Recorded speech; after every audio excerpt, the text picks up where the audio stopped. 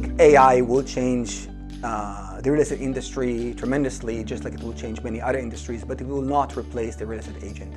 If you think about it, yes, if you are upgrading your house within your neighborhood, you're familiar with the neighborhood already, and you want to upgrade this house to another house uh, around the corner is a little bit bigger, maybe a little bit newer, higher quality lot, etc., you can do that, and you, and you, may not need a real estate agent to do that, uh, even though you can probably still benefit from having one.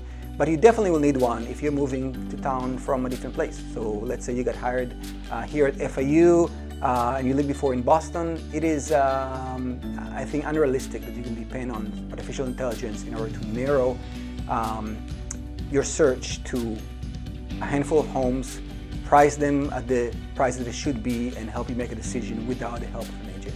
I think that the human touch, especially in an area of real estate that is so you know, so personable. It's so it's such a, such a people business. I don't think it will replace uh, brokers for a very very long time and, and probably forever.